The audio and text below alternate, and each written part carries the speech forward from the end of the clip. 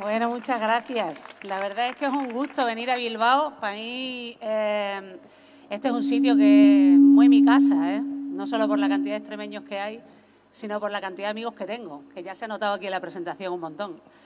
Eh, bueno, el feminismo está en un buen momento, pero tiene delante unos retos considerables.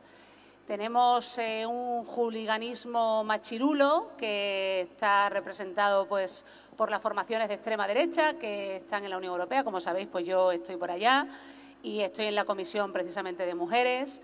Y, y bueno, pues dan miedo realmente, ¿no? Ves que claramente nos odian. Es decir, que tienen unas posiciones claramente misóginas, homófobas, tránfobas y bueno, forman parte de un grupo parlamentario en la Unión Europea que es potente, que tienen setenta y tantos eurodiputados y eurodiputadas, además de otros como Vox, que no están en ese grupo, están en otro, pero que piensan de la misma manera. Eh, piensan que las feministas básicamente dividimos, son eh, abiertamente antiabortistas. ¿no?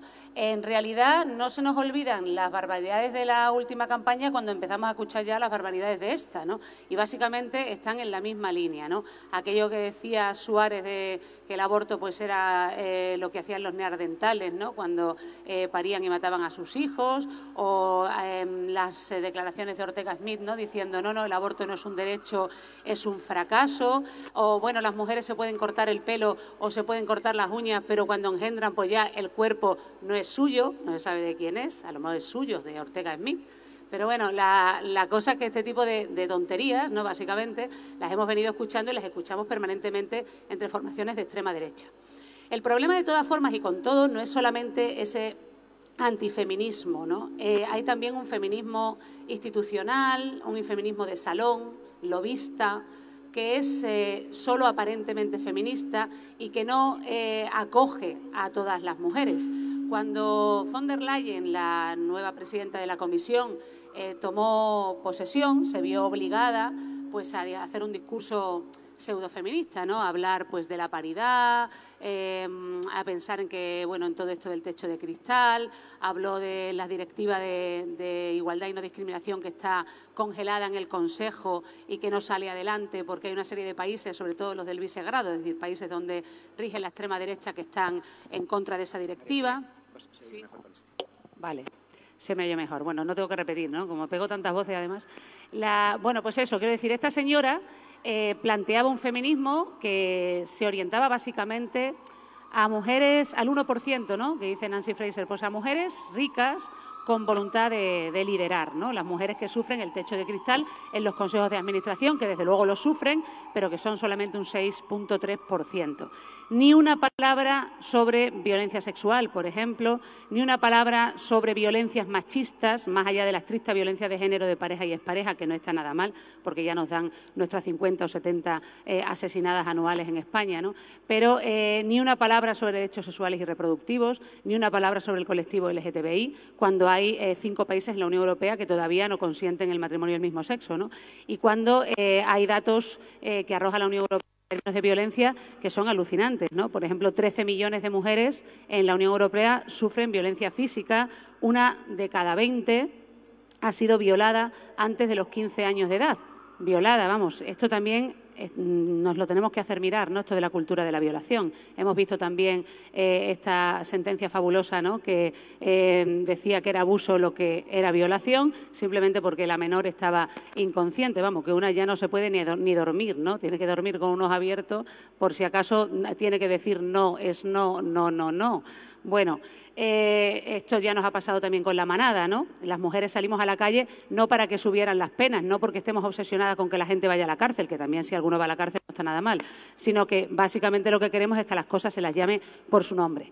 Pero hablaba de este feminismo institucional y decía que von der Leyen, bueno, pues representaba esto. Y este es el feminismo que también representa el Partido Socialista, ¿no? que hizo en su momento dos avances, la ley de igualdad, eh, muy, muy, muy estrechita, que únicamente garantizaba la paridad en las listas electorales, eh, que a las empresas no las tocaba, ¿no? Bueno, aquí a las empresas aconsejamos que si a ustedes no les importa que haya mm, un poquito de paridad, ¿no? Que haya mujeres y hombres, porque bueno, esto todo es eficiente, eh, da rendimiento, es decir, una ley muy, muy, muy estrecha que además, por cierto, fue recurrida al Constitucional por el Partido eh, Popular, que consideraba que eh, violaba la autonomía de los partidos. Vamos, que básicamente los partidos, que son casi siempre máquinas oligárquicas dominadas por varones, pues evidentemente se tienen que someter a la ley de igualdad como todo lo demás. ¿no? Este feminismo, bueno, un poquito estrecho, el feminismo de la ley de violencia de género también muy estrecho, que eh, después lo que se ha visto con el Partido Socialista pues es que no han apoyado eh, la implementación del Convenio de Estambul en el Pacto de Estado, es decir, las violencias sexuales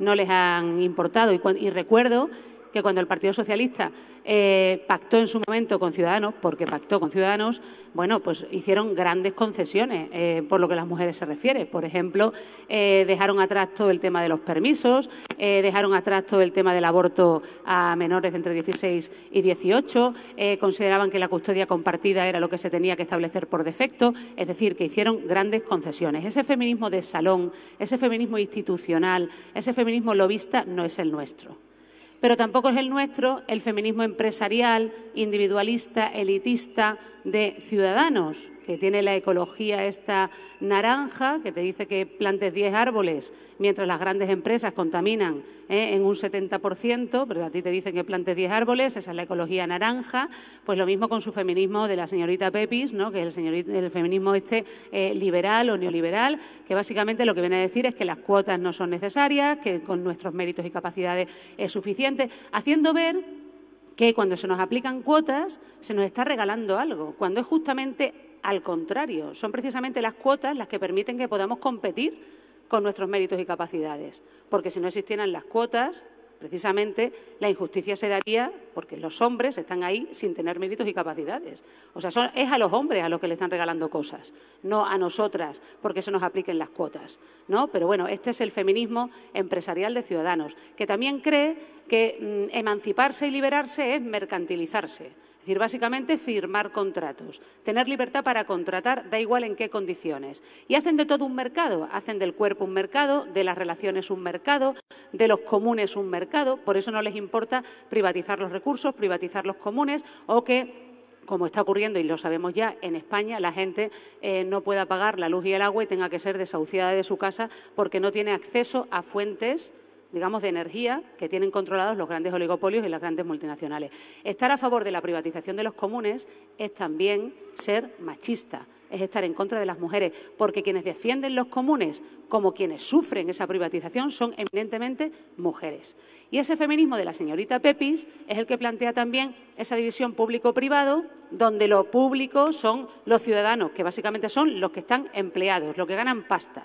Y la división entre autonomía y dependencia, donde los dependientes otra vez son los que son pobres o no ganan pasta. Es decir, todo es básicamente ingresos dinerarios. Ese, feminismo empresarial, individualista y elitista no nos interesa para nada. ¿Cuál es el feminismo de Unidas Podemos? El feminismo de Unidas Podemos es el feminismo que es muy consciente, que es el feminismo que salió a las calles el 8 de marzo. Es el que es muy consciente de que el cuerpo, de que el cuerpo es el centro y es el centro en un sentido muy amplio. Es el centro porque es necesitado, porque tenemos necesidades. Tenemos necesidades que se tienen que cubrir y esas necesidades que se tienen que cubrir son afectos, cariños y cuidados y además son evidentemente necesidades materiales. Por eso, además de ser feministas, estamos a favor de servicios sociales y de políticas públicas. Por eso estamos a favor de que la propiedad sobre el agua o la propiedad sobre las fuentes energéticas no la tengan grandes oligopolios ni grandes empresas porque queremos que eso se reparta. ¿Por qué? Porque pensamos que somos eminentemente seres necesitados. Necesitados, repito, de afectos y cariños y de cuidados y necesitados también de recursos materiales, ¿no? Por eso, por eso valoramos también y ponemos en valor a quienes cuidan, a quienes cuidan, que son las mamás, que son las abuelas, que son las mujeres migrantes, que son las que permiten, las que permiten que las mujeres en el norte podamos salir a trabajar, aunque sea de manera precarizada, porque se quedan con nuestros hijos y nuestras hijas cuidando de nuestros hijos y nuestras hijas, a pesar de que nuestras pensionistas, por ser mujeres, tienen una brecha de pensiones del 37%, es decir, que ganan mucho menos en pensiones que sus homónimos varones. Pero con todo y con eso están cuidando a sus nietos y a sus nietas. Y por eso tenemos con ellas una deuda de vínculo, una deuda de cariño y un reconocimiento que tenemos que hacer. Y por eso, porque creemos en los cuidados, también ponemos en valor las personas que trabajan en los servicios sociales, que son personas en un 80% mujeres y que están claramente inferiorizadas y precarizadas. Y ganan muy poco dinero. Y además ponemos en valor a las organizaciones de mujeres que quisieran ser profesionales y no les dejan ser profesionales, como las que hacen servicio de asistencia al domicilio, como las aparadoras y trabajadoras del calzado, como las Kellys, como las eh, del servicio activo eh, a domicilio, todas esas mujeres que se han organizado porque cobran miserias, porque tienen condiciones laborales miserables, prácticamente esclavistas, porque algunas de ellas, como la de las aparadoras del calzado, cobran un euro cincuenta la hora y la mayor parte de ellas trabaja no solamente en precario, sino en economía sumergida, porque están cosiendo nuestros zapatos en su casa, porque no se les reconoce enfermedades laborales. Esas también cuidan, Así que en el mundo del cuidado, que está representado básicamente por mujeres, hay mucha gente a la que reconocer, mucha gente a la que, integrar. Y ese es el feminismo del 99%, el que dice somos personas necesitadas, necesitamos de cuidados y por eso tenemos que poner en valor social y profesionalmente, poner en valor a quienes cuidan. Y tenemos una deuda con quienes cuidan. Pero además, como somos cuerpo, también somos cuerpos racializados también el cuerpo es una fuente de subjetividad. Por eso este feminismo es sensible a todos los procesos, digamos, de exclusión por causa de racialización. Y por eso este feminismo es también antirracista. Y por eso este feminismo también se alía con el movimiento LGTBI, porque el cuerpo también es una fuente de construcción y de deconstrucción de la personalidad y del sujeto y, por tanto, también somos sensibles a las reivindicaciones de las personas por su orientación sexual o por su identidad de género. Algo que, repito, ese feminismo institucional y ese feminismo empresarial orillan por completo. Y voy terminando. Porque somos cuerpo, hablamos desde un lugar. Ocupamos un lugar concreto. Esto significa que la experiencia, la vivencia concreta y el testimonio es importante. Por eso para nosotros es importante escuchar a las víctimas. Por eso decimos ¿eh?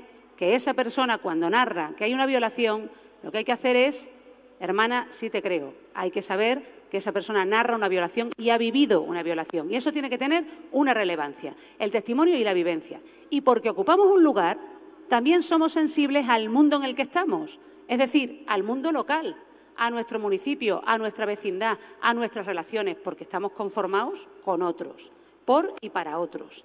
Y por eso este feminismo es también un feminismo comunitario. Es un feminismo que es sensible al territorio, que es sensible al reconocimiento y a la redistribución de las competencias y de la riqueza. Y por eso somos también soberanistas en un punto.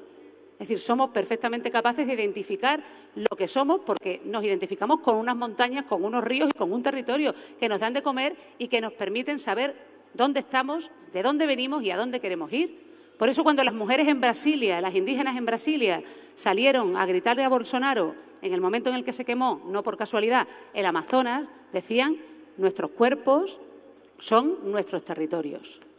Y hay mucho de eso en el feminismo que nosotros defendemos. Pero si no ponemos el cuerpo en el centro, si no hacemos una reflexión sobre esa vulnerabilidad, sobre esa dependencia y sobre lo que somos y hacemos aquí, no podremos hacer un feminismo incluyente que sea un feminismo para todos y para todas, que es el feminismo que nosotras queremos construir desde aquí y que, por cierto, repito, es el feminismo del 8M el que llamaba a una huelga laboral, pero también una huelga de cuidados y también una huelga de consumo, porque le decía a esos oligopolios y a esas empresas, miren, no vamos a consumir esto, esto y esto que ustedes, digamos, nos traen de mano en mano de mujeres esclavizadas, precarizadas, y no solo de mujeres, sino también de niños. ¿no? Así que ese es el feminismo que nosotras defendemos y, como dice Pilar, creo que quien es hoy feminista, que quien quiera ser hoy feminista, tiene que aliarse con esto, no con el feminismo liberal de la señorita Pepis, ni con el feminismo institucional adocenado de salón del Partido Socialista. Muchas gracias.